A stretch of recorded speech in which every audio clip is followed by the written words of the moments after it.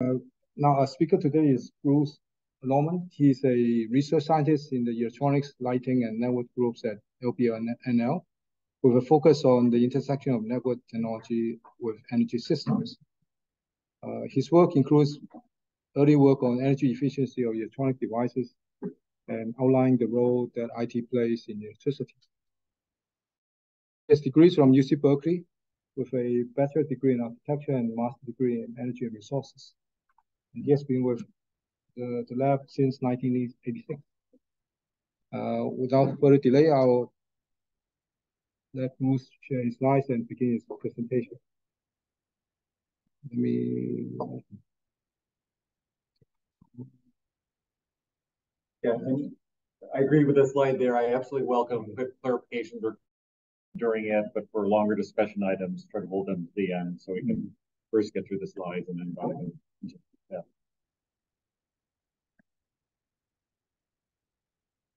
Back, back one slide. Uh, yeah, thank you. Um, it's a pleasure to be here. Um, as you noted, I've been at LBL for a long time. Um, starting in the early 90s, I worked on electronics energy use, computer televisions, network equipment, and towards the end of that time realized that um, being connected to a network was a really important part in driving energy use of electronics, like particularly when we had desktop PCs, commonly they would be left on 24 7. So I realized I needed to get into network technology to understand the recording.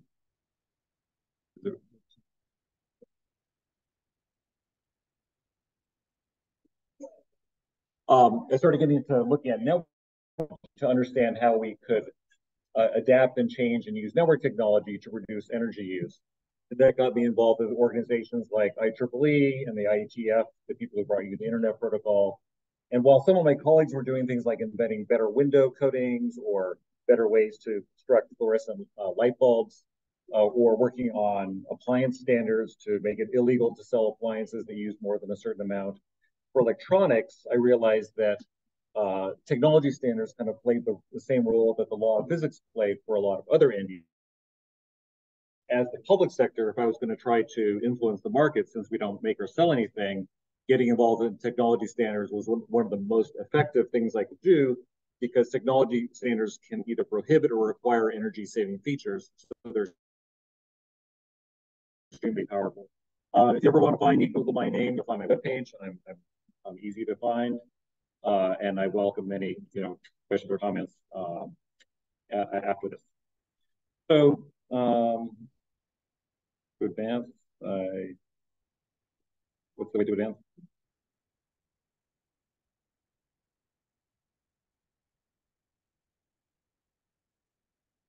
It's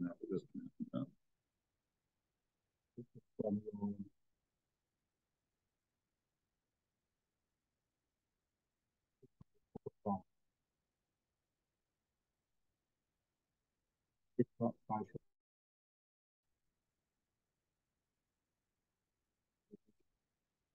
Okay. Okay. Okay, great. Um, so this slide I actually used several years ago for a different talk um, to help clarify that this notion of how you see the world really depends on where you're starting from. And in my area, working with electricity, oftentimes most people in the conversation take pers perspective of the utility grid, which is an important and valuable perspective to take, but I'm a buildings person. I sort of, so when I think of what's behind the meter, for me, I'm sitting in my house or office, there's the meter, and beyond it is the grid, whereas grid people think the reverse. So it really, people's thinking about what's possible, and what's desirable gets shaped by, by their context. And I thought this was kind of funny because I Googled around and found other examples of this New Yorker cover, and there was one from Stanford. So that was a nice tie-in with today. Um, so for myself, I was born in Southern California in the summer of 1969. My from Southern California up to uh, Palo Alto, where I grew up. And about three months later, there was the first computer computer communication at distance from UCLA to Menlo Park. So almost the same path at almost the same time. So I kind of feel like I have some visceral connection to, uh, to IT network technology in that way.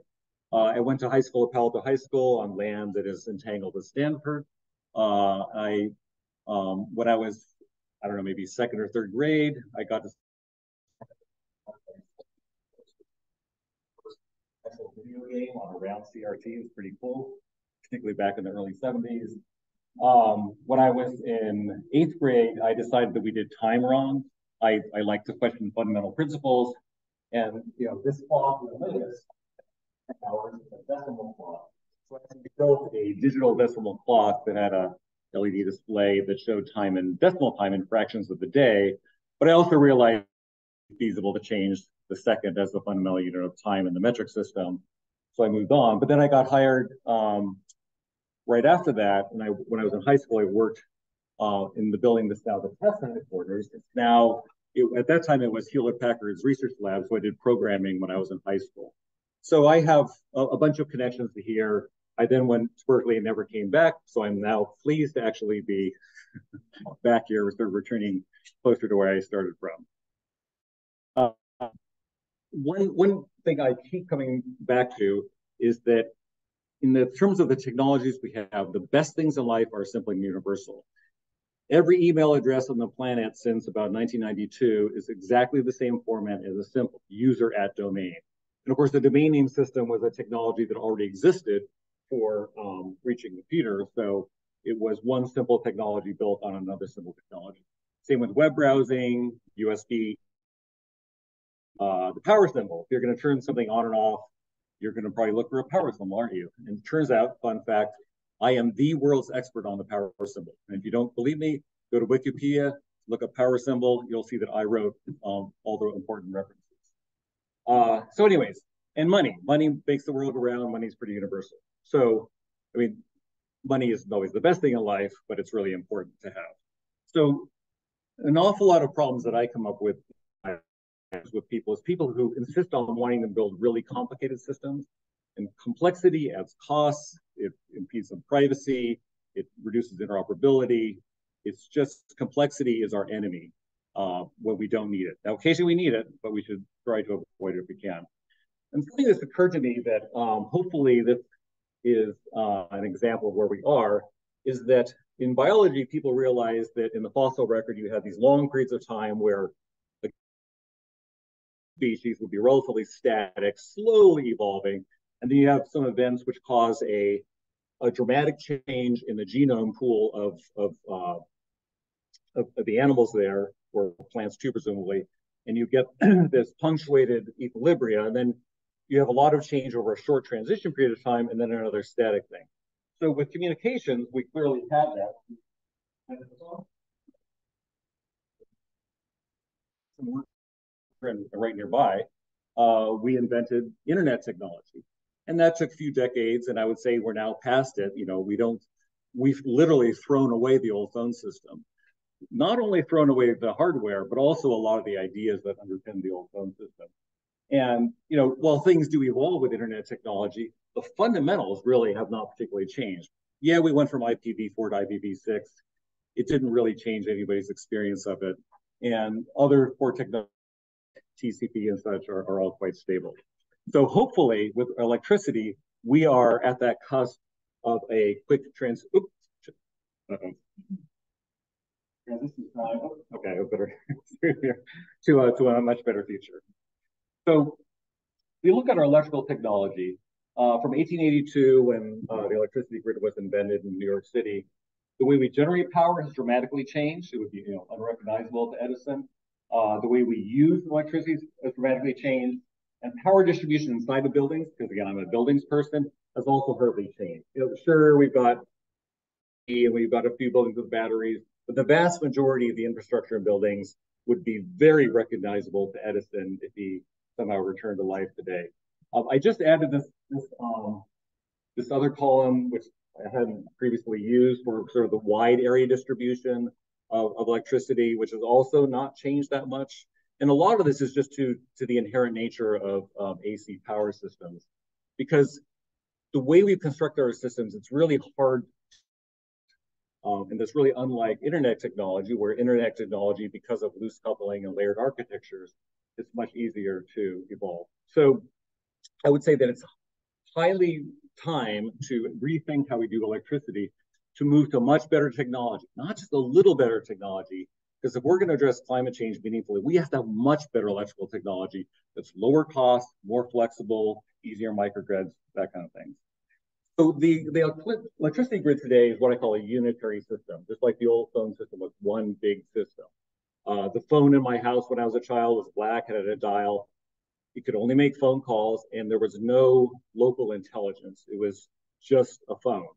And of course, that's a completely different model from how we do things with internet technology, wherein we have rich infrastructure inside the buildings. Um, and you know, your, your network in, in a in a house or a dorm room or a office building is loosely connected to the wider internet. It's not tightly coupled. But with the electricity grid, everything is tightly coupled on the 60 hertz frequency.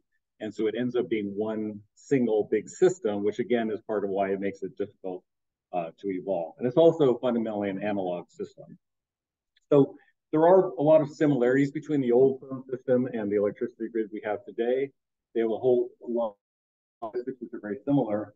And all these characteristics, fundamental characteristics, which then changed when we went to, uh, to internet technology. And so there's this obvious question of how, how what is the electricity equivalent of you know the internet? Now, some people will refer to a quote unquote Internet of Energy. And if somebody uses that term, you know they either do not understand how the internet works, they do not understand how energy works, or both, because Internet of Energy makes no sense. Um, and I'll, I'll, get to that in the next slide. Um, but clearly, there is something which I call a network model of power uh, that we need to do. And the way I've explored this is only inside a building. And whether it applies to the utility grid, I don't know. I don't think it does in the near term. It may in the long term.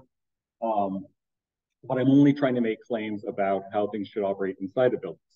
But the way things operate inside the buildings relates in the grid because we need to coordinate the grid, uh, particularly for demand flexibility, uh, more and more. So um, if we look at these two systems, uh, we need technology to move a resource from where it's available to where it's wanted. So if the information is on a web server, you want it to move it to your web browser. If the electrons are in a power plant and you want to move to this computer so we can use it, you need to have technology to move things from point A to point B. All data packets, different source, different destination, different content. The electrons are all the same. And I know that because I work for a physics laboratory and the people down the hill from me tell me that electrons are all the same which in a sense actually makes it a much simpler problem than the communications problem where all the packets are different, which we have already solved. So we've, we've done the hard thing. We just need to do the relatively simpler thing of managing flows um, of electricity. So the internet goes over the internet protocol. No matter what your application is, it all goes through the internet protocol, no matter what your physical layer. So what we really need is we need a fundamental mechanism which can play the same role that the internet protocol does for electricity. And in thinking about that, I've only come up with price and quantity as that possible mechanism. It's not like I came up with five mechanisms and price and quantity seem to be the best. I actually just can't even think of another mechanism that could possibly mechanism uh, and if somebody else has some nominations, please tell me, because in the last you know 15 years I've been thinking about this, I haven't come up with another. And, and in a sense, that's not surprising because we use price and quantity every day in our lives. Um, it's, a, it's a basic way that our economy and our uh, infrastructure work. So that's not a surprise. So um, the internet protocol, that fundamental mechanism, routes data over multiple hops, data point P, point B because the packets are different. Since the electrons are all the same, routing an individual electron or a group of electrons over multiple hops in a network doesn't make sense because the electrons are all the same. Now you do need to manage the location, quantity, and timing of the electrons. So you're managing flows, but they're flows of identical things.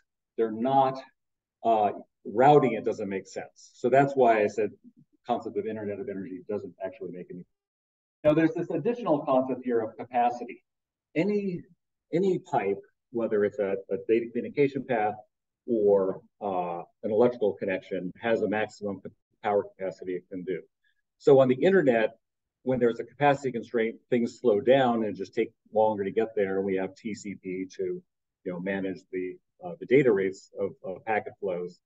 Um, so that's how we manage capacity constraints uh, in IT networks and like sure that we uh, don't overload circuits because you could introduce a safety problem or trip circuit breakers or such.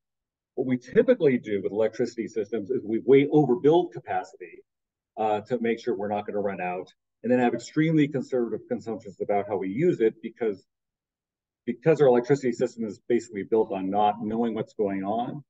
Um, and it's surprising, it's amazing how little utility grids know about what's going on at the edge of their system. Make conservative assumptions to make sure we don't exceed it, which means that you're actually wasting a lot of capacity um, that, that might be available. So if I plug something into this USB port, it doesn't just get power, it has to ask for it. So there's actually digital management of capacity in devices that we all own today. So we just need mechanisms to scale up capacity management to entire customers. So in terms of how the internet works, is a collection of both mesh networks and tree structured networks. And the wonderful thing about internet technology is that it doesn't really um, matter. It's flexible and operates both ways. And that's true on the wide area network, and it's also true inside the buildings where you can have a tree structured IT network, or you can have a, a mesh network of switches and routers uh, collectively. Um, so it's a flexible, flexible technology, which is nice, which means that you can make or break a connection at any point and the system will automatically adjust. Has somewhat similar characteristics, but because it's driven by the laws of physics on the wide area network, uh, you know, paths flowing over the transmission system is a complicated topic that I know nothing about, uh, where that comes into play. Uh, inside of buildings, you just tend to have tree structures of electricity because uh, with an AC power system, having a mesh network um, doesn't necessarily make a lot of sense. But if you use DC distribution, it actually can. It's the internet protocol that's operating across all of these links, no matter whether you're sending a photo from your phone to your TV or whether you're emailing somebody in Africa. It's the same mechanism in all countries and all building types, types for all application topics. Even if you're not connected to the wider area network, you still use the internet protocol to move data. It's a universal fundamental mechanism and price can and has to be that. So there's the OSI model, the has seven layers, it's usefully simplified to just five. The internet protocol sits in the middle to isolate your physical layers from your application layers. And doing so is really essential to making the internet work at all, because if we had things that were more complex or more entangled, it would get so difficult that it would make it much harder to manage it. But it's the simplicity of internet architecture which allows it to be flexible, to scale, to drive down costs, make products interoperable. This, these system architecture foundations are really essential to making uh, a highly functional system. So there's this key notion that you want to isolate isolate the complexity of a LAN from the WAN and vice versa, so that the wide area network doesn't need to know what's going on inside of your building and vice versa. Uh, you want to separate, isolate the complexity of applications from the complexity of physical layers. And that allows you to then evolve systems in a very healthy way. But like how our electricity system works today, where we have entangled technologies. And that's why we haven't really evolved it very much since 1882. So um, there's other things, and this is certainly not a complete list, where on the phone system, you had the actual data plane of, of switching circuits, and you had a control plane that was separate, which sort of orchestrated how those circuits were set up. With the internet protocol, those were unified. Is also where the control signals go. And there's a whole lot of advantages to that, so that when you break a connection on the data, you also break a connection on the control, and so you really know what's going on. With our electricity systems, with these things separated from each other, you don't necessarily actually know what's going on. This, this is a smart grid diagram that somebody created about 10 or 15 years ago. I have never seen such a diagram in my work with um, internet people. Nobody who works with network technology would ever create such a structure like this because it's just not workable.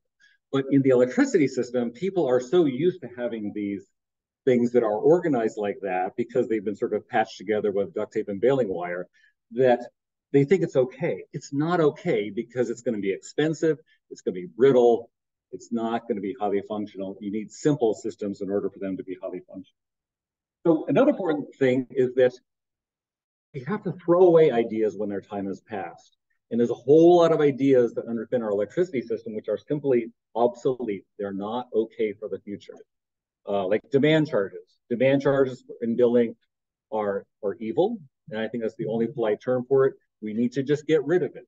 You know, like, it's like the electoral college or any number of things like that. We just need to get rid of them. Um, analog communication is very 19th and 20th century. Everything's, you know, future is digital. Um, these separate and controlled data planes, um, unitary systems versus network systems, tightly coupled versus loosely coupled. Deterministic operation is a really critical one. So, um, you know, the old phone system was completely deterministic. You placed a phone call, it set up a circuit, you were guaranteed this much uh, data capacity, whether you used it or not. The internet is completely non-deterministic. You send out a packet, you just hope it gets there. It almost always does. If it doesn't, rebroadcast it, but it's completely non-deterministic. In the 1950s, multiple people went to Bell Labs and they said, there's this thing called packet switching we think is the future of communications. And the clever phone company engineers said, we, we're aware of that. We know it's impossible. Therefore, we do not need to study it. So they just couldn't imagine um, because of the way they thought about the world, because they only believed in deterministic systems, that a non-deterministic system could actually work. Not only that, they could the deterministic alternative. Now, the weird thing about the electricity system is the demand side has always been non-deterministic. Now, I, as a customer, I never tell the utility um, what it is that I plan to do as far as electricity. The utility just has to forecast things based on uh, past experience. And luckily for the utility, they don't care what I use. They only care what everybody collectively uses within some region. So since you know variation average out, then it's all fine. But it's completely non-deterministic. On the supply side, things are very deterministic where you orchestrate with wholesale markets, which power plants come on. But a lot of people in the electricity system believe that the only way to have a better future is to make the demand side deterministic. And they are just wrong just like the phone company engineers who didn't believe that internet technology was possible. And that's that mental problem of people thinking, having misconceptions about how reality is uh, barriers. So, so, throwing technology away is a critical thing to do. So I, I started started collecting some things that are these myths uh, that sort of impair people having clear thinking. So we used to have application specific physical layers of communication. TV broadcast signals, you could only send out TV signals. FM radio or AM radio, they only send out audio over those things. You know, telegraphy, all these technologies were technologies for a particular individual application. And what we replaced it with is technologies that are useful for all applications, generic technologies. And um, and that's really critical. So like when electric vehicles come along, people think, oh, we need to have a specific solution for this one particular end use. No, you need to have a solution for customers in general who may have bursty loads, but you don't want to make it specific to an individual device. Um, uh, mechanisms are always better than the application-specific ones. Um, there's this notion that electrons aren't all the same, which, as we know, is, is nonsense. Um, and so then some people would say, oh, I want to charge one tariff for your electric vehicle charging and a different set of prices for your other devices. Um, that doesn't actually make any sense with respect to physics because, again, the electrons are the same. Uh, or that they want to arrange flexibility differently for different devices. What your thermos, what your furnace is using as controlled by your thermostat is different from what your lights and other devices are. It's nonsense. The electrons are all the same. We need universal mechanisms. Um, there's this, I already covered this on uh, non-deterministic systems. You know, we rely on non-deterministic systems every day uh, for a whole lot of things, and that's that's the future. Um, and then some people, for engaging flexibility, want to sell electricity at one price through one mechanism, and then engage in flexibility, like through aggregators or such, to um, to make the demand side, you know, operate in a way that's uh, better for the supply side. But they're only doing that because they charge the right wrong price in the first place. Um, if you charge the right price in the first place, you wouldn't need to have this separate mechanism to account for the you charge the wrong price. When I was in my, you know, elementary school, I started learning how to program computers and garbage out.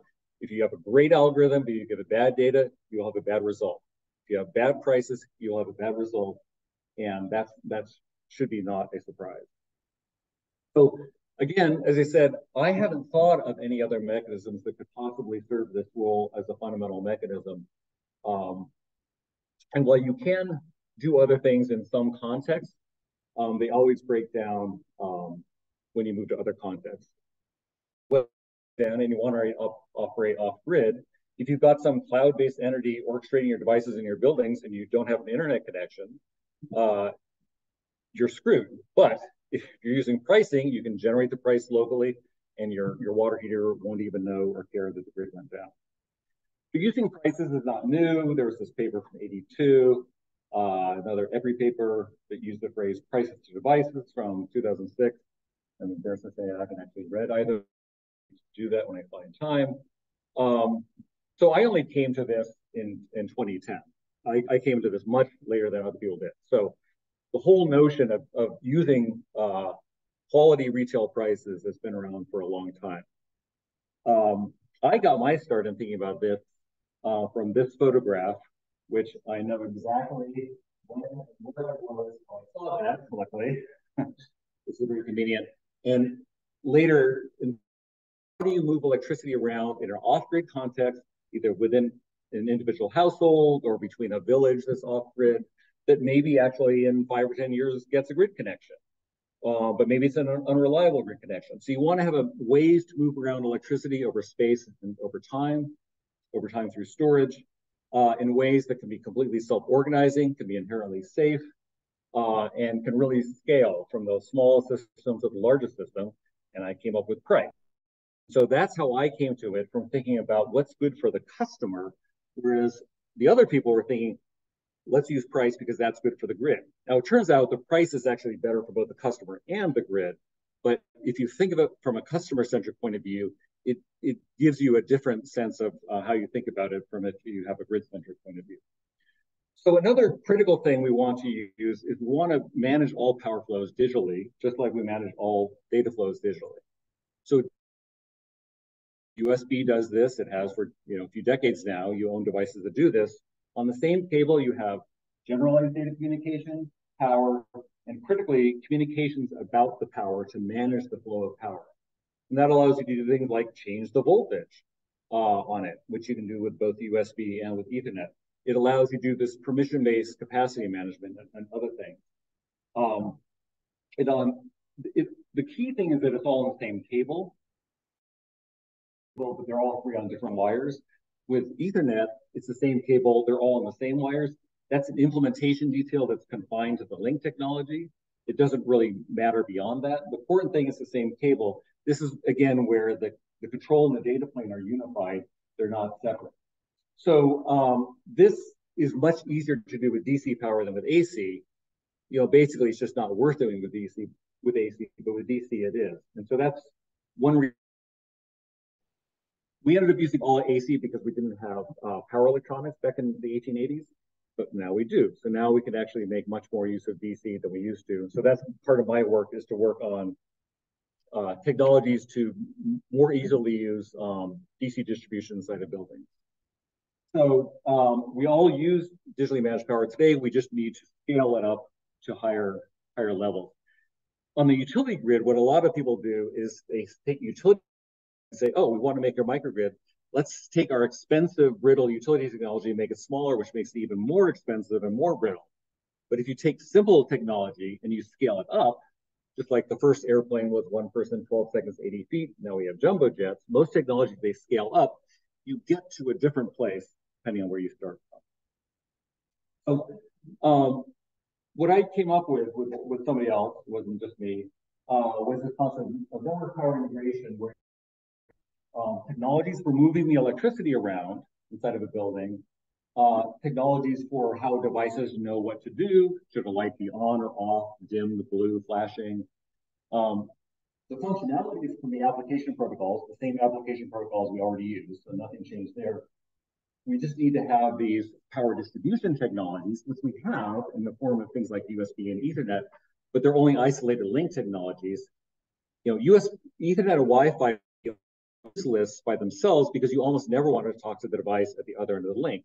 You want to talk to a device multiple hops away. It's the internet protocol which allows you to go from a link context to a network context. And that what price and quantity does is it allows you to go from a link context to a network context. So um, so that division between those allows each of them to evolve separately. That's just how things operate on the internet, and that's what allows systems to evolve um, much better. So one thing that comes out of this is you can network electricity itself. So this could be your, you know, my house or this building or a car. It could be any power distribution system. Uh, you could you can arrange what I call nanogrids in a mesh network or in a tree structure. Nanogrid has a uh, nanogrid controller, an infrastructure device that's analogous to an Ethernet switch. It's not analogous to an IP router because, again, we're not routing packets analogous to an Ethernet switch. Um, and then you distribute power below, and you may have, so you have your, your downstream, you know, local connections, and then you have your upstream connections to other nanogrids, and then you have a microgrid controller, which then is actually the same as the other ones, but it's just the one that interfaces with the utility grid. And some of these could be AC, some could be DC, there could be different voltages, and you can make or break the power connections whenever you want to, and the system will automatically adjust. The grid has its own local price. So how, how might you get a net flow of power from here over to there? Well, this nanogrid controller not only never talks about it, it does not even know that it exists. In this model, all the communication is only over a over a direct electrical connection to the watt to the device at the other end of the link. But the value of this might be zero cents, maybe it's 10 cents here, 12 cents, 60 cents. You can have a net flow of electricity over multiple links of communication. So it's a model which is both simple and, and completely flexible. Uh, also to um, when when a power connection fails or a piece of equipment fails, the system just automatically reroutes the power around it. So um, in 1969, they built uh, this device here about the size of a refrigerator. I'm sure it would cost millions of dollars in today's money. It's basically a four-port Ethernet switch, okay? Now, you can buy them. The technology scaled because it has these inherent characteristics. You don't find that kind of scaling with um, traditional electrical technology. So one of my goals has been to build the world's first fully functional nanogrid controller, and hopefully early next year we actually actually have that. So, um, oh, oops, here. How does this actually all work? So in that model, there are only four messages for this physical layer distribution between the two things. It turns out the first three messages already exist in USB and an Ethernet in devices that you already own. The only thing that gets added is a price and a non-binding forecast of future price. This is really simple, and this simplicity makes it allow us to be interoperable and low cost and cyber secure. Because if you're not sharing information, you can't get hacked or you can't uh, violate. So this um, there's a huge number of advantages to this model. It could extend anywhere from this building again, to an off-grid village on another continent. So key to this then is to separate as much as possible the customer domain from the, from the grid domain. I used to only ever talk about buildings, but as I talk to more grid people, I realized I should be talking about customers. So they realize the only reason we have the utility grid is to serve the needs of customers. It's the other way around, uh, but they're just wrong. So from the from the local area network, from the building, the grid should be just a black box. You shouldn't know or care what's on the other side of the meter. And the reverse should be true. The utility should have no knowledge of what devices you own or their status and control. It should just be about um, price and quantity. Uh, and and actually another critical thing here is that uh, a lot of people even today will say that you have to exactly, which is not true because now we have battery, now we have storage. And in, in, order to create internet technology, we of course had to have digital communication, but we also had to have data storage. the storage was assembled, essential to have more loosely coupled systems instead of tightly coupled. And so now that we have electricity storage, we can be more loose about how things work. You have you, uh, prices. And we use prices at the meter. We always use prices. They're usually terrible prices. Then we can have better prices there, and then we can have this rich infrastructure inside the buildings of prices uh, for, for different power domains. One mechanism uh, at all scales. So there's, I like to use this term coordination architecture, which is um, ultimately gets down to, this is usually between the grid and the customer or the grid and customer device. Who talks to whom about what? So in a particular way of doing things, this, and what are they communicating about? Um, either providing information or exercising control. So 50 years ago or so, there was direct load control where utilities would send out signals over radio or over power lines to cycle off water heaters or air conditioners. That works. They have don't really get any good feedbacks. They don't like it. Um, then we, about 20 years ago, started introducing a lot of event-based demand response where a dozen days a year you have an event and you and a, something specific. The other 353 days are quote unquote regular days, so you do nothing at all it works, but it's an extremely limited tool. Um, there's prices, which is what I'm advocating here. And then there are complicated things with biddings and auctions, which you could make work. I think they would end up working about the same as prices, except that they add this enormous amount of complexity uh, to the system and cost, which could never be justified by over how pricing works. So those systems are just never going to happen. People love to talk about them because they're really cool constructs, but they're never going to happen in the real world. You know, just like you know, flying cars. I drove down here. I didn't see a single flying car on the, around on the freeway, even though people started talking about it 60 years ago. So ultimately, the ideal number of ways of doing this globally is one. You know, on the Internet Engineering Task Force, where I worked, you know, collaborated for several years, they have if there's a technology solution like a communication protocol for a problem, that works, you do not develop a second solution for the same thing. You just use the one uh, to keep things simple because they understand the value of simplicity. So uh, a lot of times people talk about grid services and, and talk about the various ways that grids and customers might interact. And they, they're always unsatisfying conversations. I've been in hundreds of these because they're mixing things together that actually don't really have much Energy, we can deal with through pricing. There's coordinating with inverters about power issues, power quality, reactive power, you know, frequencies and such. I'm not an electrical engineer. The inverter people seem to have that well in hand. It's a separate problem. It needs a separate solution. And, and there are solutions and, and so that we don't have to complicate our discussions about energy by, by polluting with these power discussions. And then this last part about managing capacity, we typically don't do, but um, we absolutely need to for vehicle charging. In Australia, they are using it today to manage excess solar from feeders where you have a whole lot of customers with uh, PV panels. Sometimes it was having somebody would say, I want to put PV on my house, and the grid would say, You cannot, because a few hours a year there'll be too much power coming back from all these panels. So now what they're doing is they're broadcasting out um, a an interval limit. Each customer can export to the grid to make sure we don't overload the feeder. It's not a limit on what the PV produces because it's the PV minus whatever the loads are. So if you're in danger of exporting too much, you could curtail your PV or you could just increase your load. You could charge a car, you heat some water, things like that. So capacity management is something that absolutely the utility needs to be working on. Um, but again, it's it's a separate problem, and there might be prices associated with this, but it's separate so what might these prices look like? Um, these are some real prices that people were charged um, those back, back eight, uh, nine years ago uh, in Illinois. Now they don't vary that much. So in, this case, it's only a few cents. So not much dynamic range, so it doesn't give you a lot of opportunity to save money. The more the prices range, in Hawaii, they're talking about maybe 40 cents difference between the, the high price time in the day and the low price time make it really worthwhile for customers to buy technologies to shift load. My heat pump controller for my heat pump takes in prices today and optimizes to them. Now I only pay TOU prices because I can't pay an hourly price here. But once uh, that gets charged, my the device I already own in my house can can operate do that directly. That's what we need. We need to start distributing technology that's ready for the future.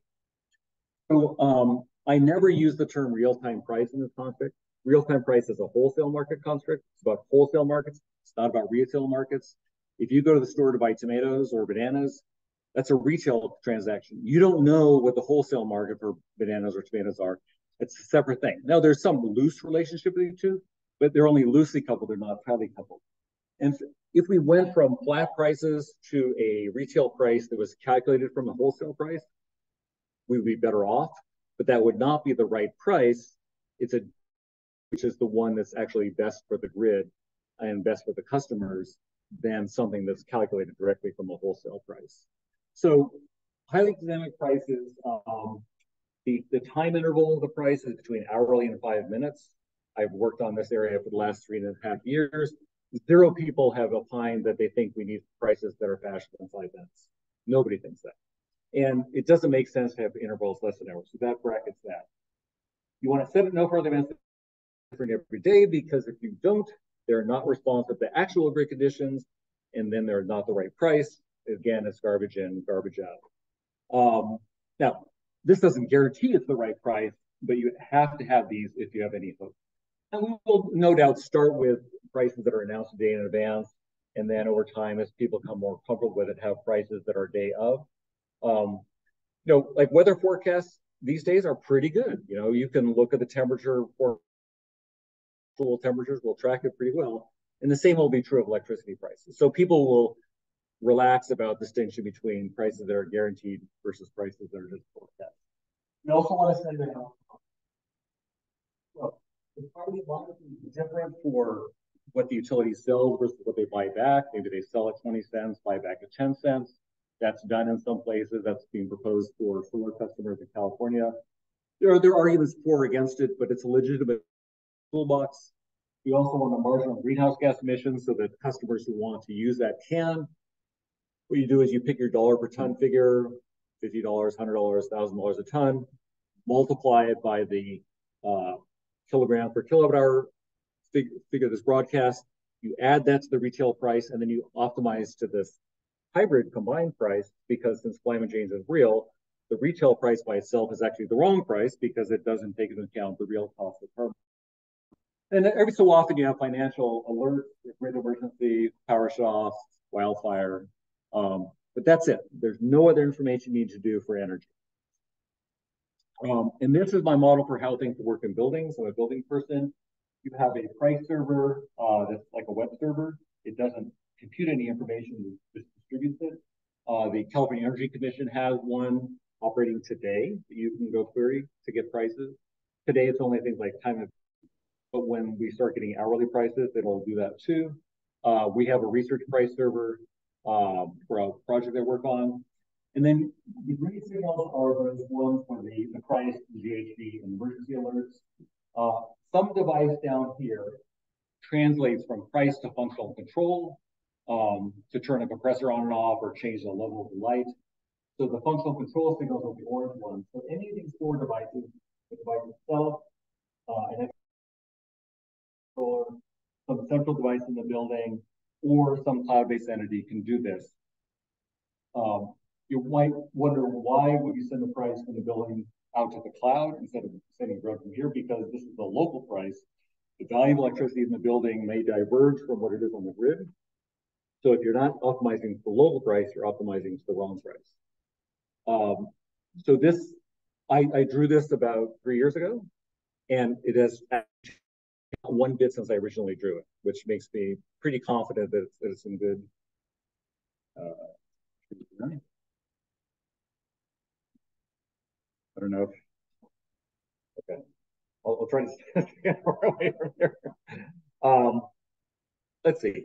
So uh, these highly dynamic prices have a lot of benefits. It's simple. It improves privacy because the utility doesn't know what devices you own. It only observes what um, and you, you can actually layer other mechanisms on top of the price, but you if those other mechanisms fail or are not present, the system will always continue to keep operating.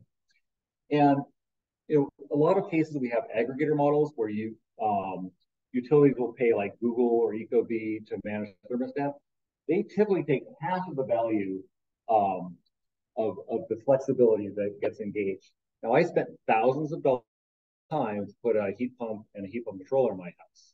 And if I lost half the value of flexibility to um, to somebody else and didn't get it, would make it far less cost effective to invest in these electrification and demand flexible resources. So I think we simply cannot afford as a society to have this model where somebody else takes away uh, half the value. Now, customers should be empowered to, to hire somebody to optimize their system. So if pay me 50 cents a month to optimize your thermostat, a lot of people might be very happy with that. But then the customer is in charge instead of the aggregator being charged. Because if there's an aggregator model with bad prices, the customer has no choice. They can only do it through the aggregator. But if you have pricing, the customer is empowered to have choice, and that's what we need. So ultimately, everybody except for the aggregator is better off with prices. And so I think that is absolutely the way to go. So these are the other models that people uh, talk about. And as I say, I think they're all have higher costs and they all perform less well than pricing. And so it's it's really I don't I don't think there's any contest as to what the right way to go is. So um, again, one mechanism at all scales.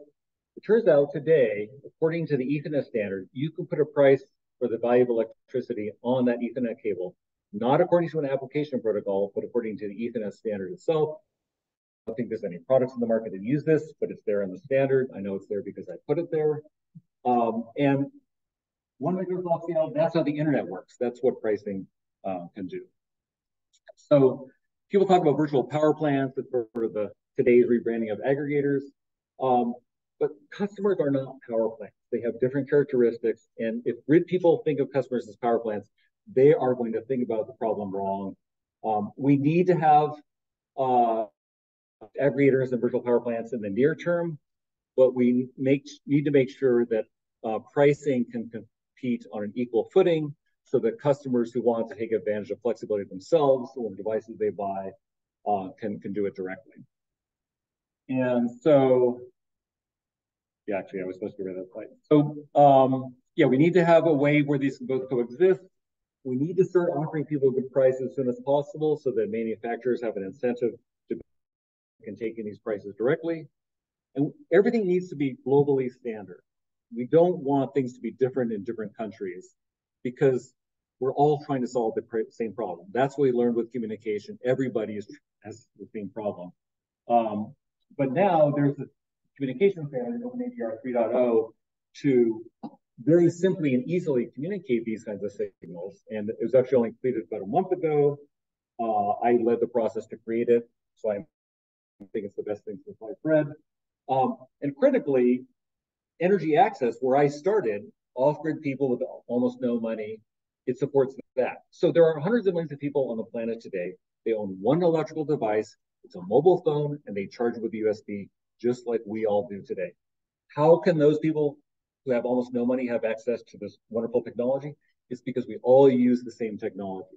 We need to make sure that whatever technology we use on the Stanford campus and wherever you live and wherever I live, that it's can scale up and down to be suitable for everybody on the planet. That's the only way to get an equitable future. That's it. Thank you.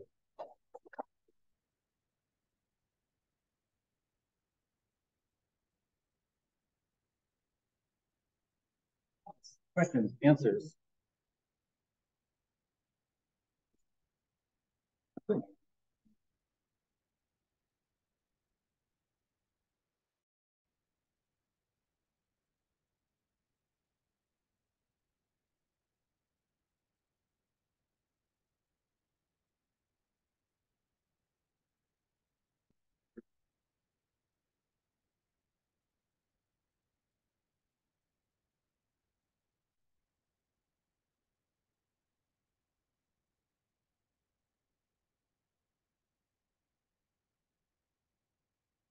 So it's technically possible to have a system where every customer created this big curve of supply demand and saying, depending on what the price is, I would consume different amounts in the next hour.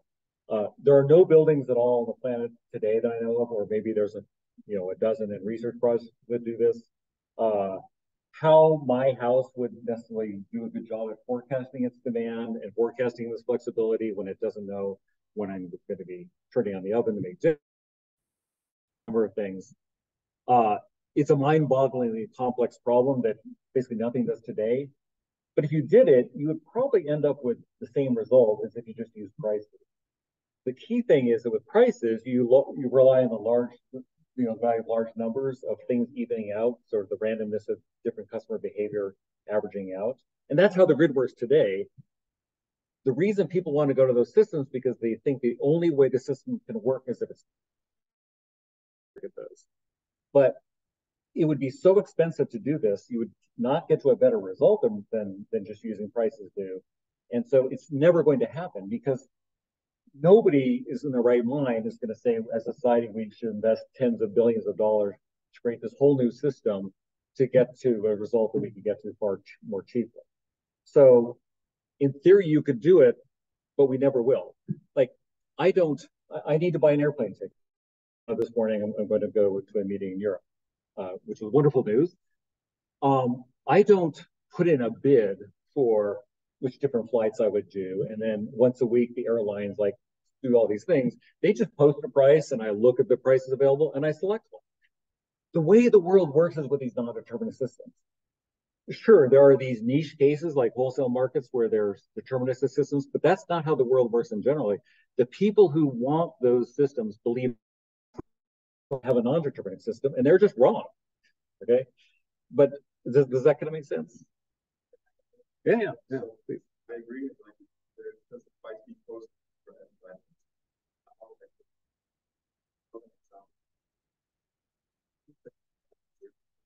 So those nanogrid controllers I had within the building, each grid controller, whether it's a micro controller or the nanogrid controller, sets its own local price. It has to add the algorithm to do that, and how those work can be a subject of innovation. So um, the algorithms for both the grid controllers and the devices don't have to be standard. The communication has to be standard. So with HTTP and HTML, we have a structure where we have interoperability because things are standard, but that doesn't mean that all web pages look the same. So in other words, we can have a system which does both in, innovation and interoperability. So it's the cost set the price, and I, I have some ideas, but I know that we need a whole lot of other smart people, maybe some of you in this room, to work on that. Um, but you know, you learn from what happened yesterday. You, you see both supply, you know, patterns or patterns of different prices. You look at demand patterns from, from yesterday. Look at your battery state of charge. Use that to how you manage the battery and how you set the price are not two problems, but they're two aspects of the same problem.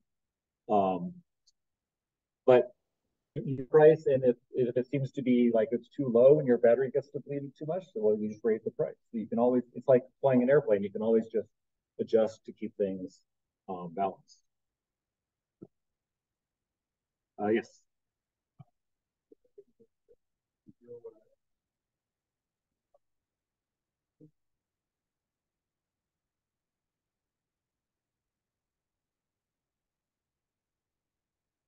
So uh, soon for them to become uh, mandatory. I think people always should have the option of um, a, a less than price if they want. Although I don't think it's up to the utility necessarily to be the one that does that. Basically, if we had dynamic prices today and somebody proposed, oh, we should have flat prices, and that's kind of like saying that you should be able to buy any seat, a seat on any flight from here to New York, any hour of the day, any day of the year for the same amount airlines, they would say, oh, for $2,000, you can have whatever seat you want. But if you want to save money, you would be on a dynamic price.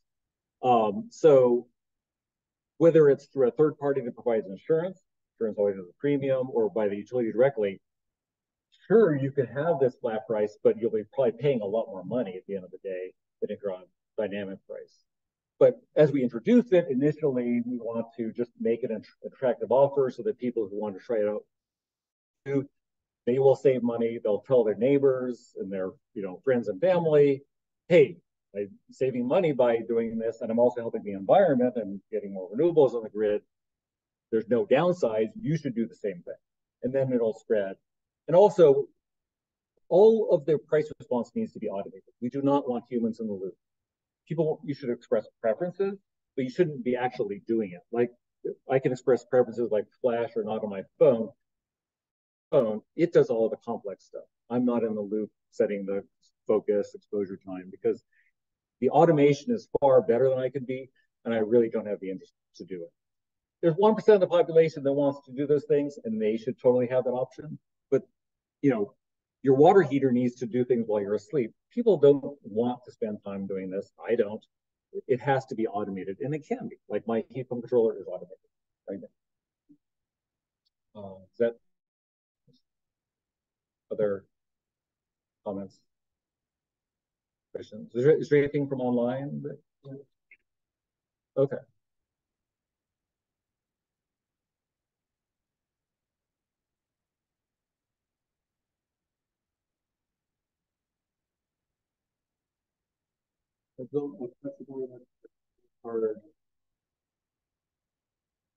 So yeah, so I've been sort of trying to follow things that trees, and um, there's this in a lot of places notion to create flexibility markets that are somehow separate from the wholesale supply markets and also separate from the retail markets.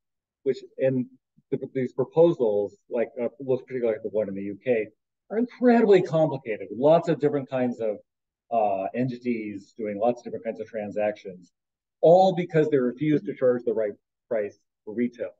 You know, if you go to the grocery store, you don't next to the tomatoes saying, I'll pay you a dollar not to buy tomatoes this week. And there's not somebody asking you, are you using this tomato for pasta or for salad? They're just tomatoes, right? They're just electrons. So um, flexibility is not hard to engage in a retail market if you charge the right price. And then, of course, if people have devices that can do that. If you charge the wrong price, you will have to go through all kinds of um, calisthenics to account for the fact that you're charging the wrong, and you will it'll be a definitely a substandard um, solution. Um, in California, our Energy Commission uh, has some a process called the Load Management Standards to require utilities to offer highly dynamic prices by I think 2027. The Public Utilities Commission also has a process called Demand Flex to do the same thing, which is good because otherwise, because it's usually the regulator that does this, not the Energy Commission, the policy organization. He screws things up, or uh, in principle, within you know three or four years, you should all have the opportunity to uh, pay these prices, save money, and help the environment. Uh, that's that's the goal and the plan. And then there's a few things in other countries where such prices are being introduced. You can do a half hour price in the UK and some other ones. Uh, but I think we have the most coherent vision and we're getting into the technology detail, details of how more than people are in other places.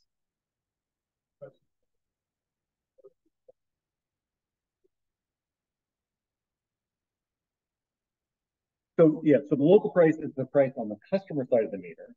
So um, I may have gone through a few of them. So one is if there's a difference in the buy or sell price, utility sells at 20 cents, buys back at 10. Um, the local price is going to be somewhere between 10 and 20, and it could be in between. Um, if you want to take into account carbon emissions, that's another one. You add the carbon uh, burden to the price to optimize to that. Um, if you have a, a, DC power domain, or, or maybe you have an AC power domain that has a DC power domain between it and the grid domain. So when the grid goes down, you have some reliable DC and some reliable AC. Each of those domains of power will have a different price because if they're ever going to move power between them, there has to be sufficient price differential. The microgrid case, when the grid goes down, there is no retail price to generate the price locally to do this. Uh, and there's probably a few more, but those are certainly the major ones where the, the availability is different, so the price is good.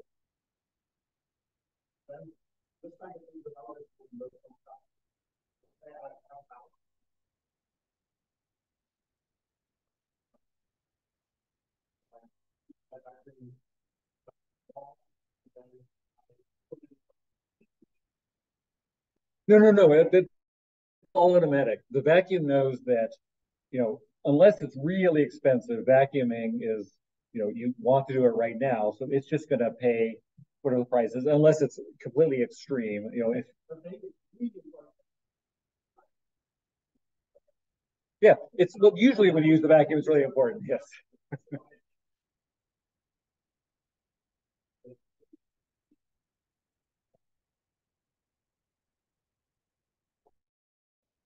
Yeah. So if you had a device that was more discretionary, um, let's say uh, a sauna or something, where if, if the price is above a certain amount, you say, okay, it's just not worth taking a sauna. It would look at the price, and if the price went above that threshold, it would just stop heating. Um, and if you had a medical device, it would never look at the price. And if you had a light, as the price goes up, maybe the light above some high level starts to dim. But way pricing operates is not to reduce the service output. Most of the way the price operates is to maintain the service, but shift the time of the consumption. So I have a 120 gallon water tank in my house, which provides both my space and my water heat. It can heat that tank during the during the course of the day, soak up the excess PV from my solar panels. Through the evening, coast through, and even into the night because I've got a whole lot of hot water there to either use as, as hot water or a space. I get the same heat, I get the same hot water, but the time of the consumption. So shifting load is the vast majority of what occurs. Um, there's a there's a company eight blocks from my house that makes an induction stove with a battery inside of it, so that it can be a 120 volt appliance, not a 241. So you don't have to run a new wire to it if you're replacing a gas stove, and it just charges up the battery over the course of the day, soaking up those inexpensive uh, electrons from the LED we have. And then when you want to turn the oven on or the burners, it draws some power, but most of it, the energy comes from the battery. So you're shifting load, but you're still getting the same cooking experience. So you only shed load, you only reduce services on extreme days, you know, one to three days a year, hopefully. Um, the other 362 days a year, you're only shifting load. And that's a problem here because a whole lot of people get introduced to demand response for these emergency conditions. So they only think about shedding load, but you know, demand flexibility is 98% about shifting load. So it's it's a it's a misperception of, of what's really going on. I think there was another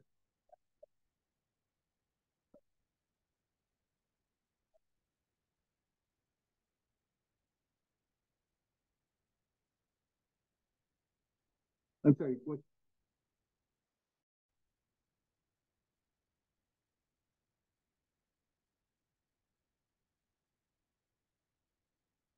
Oh, well, I mean, the utility grid today uses price in wholesale markets, and you know, PG&E has a big battery down in the Monterey area, and I assume they charge that battery when the prices are low, and they discharge the price when the batteries are high.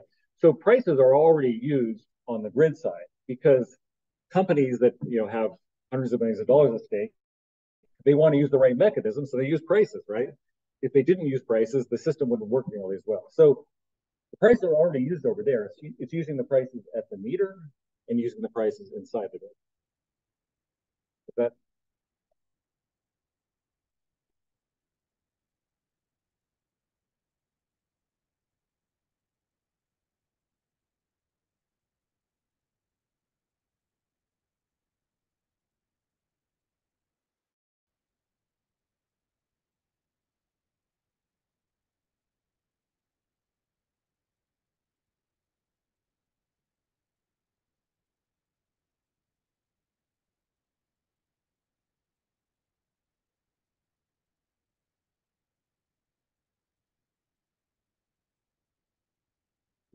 I'm a building person. I'm a grid person. So, uh, a, I don't know how the grid should be operated differently.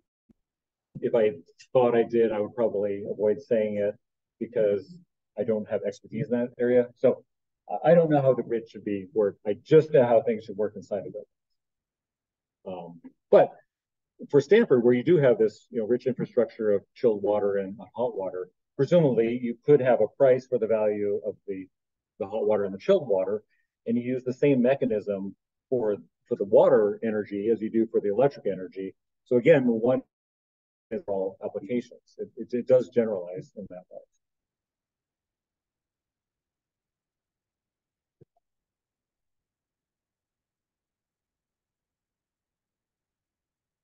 So it all depends on how dynamic the price is. So a few years ago, the winter time of use price from PG&E, which then translated to the CCA that I was due, was one cent a kilowatt hour difference between the high price and the low price. It was like 30 cents was the high, 20 cents was the low price. That's really an insanely stupid difference. I think now it's at least four cents, and in the summer was 10 cents, and Hawaii they're talking about 40 cents. So how much you can save depends on how big that dynamic range is. And that varies enormously from place to place. So it all depends on the tariffs that are chosen to be charged. And we should expect different, you know, variations in different days. On some days when there's less need to shift load, there will be less difference. And other a very large difference when there's more need to shift load. So you will engage more flexibility when there's a bigger price and less when there's less because things have different efficiencies. You know, my, my water tank's pretty efficient um, because whatever I lose through the tank heats the house. So in the winter, it's not really a loss even. Um, batteries always there's a round trip efficiency loss in the capital cost. So there's um, you you have a bigger price difference.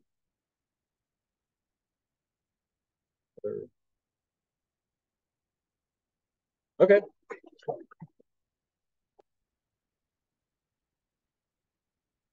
And I'll be hanging around for anyone who wants to keep keep chatting. Thank you.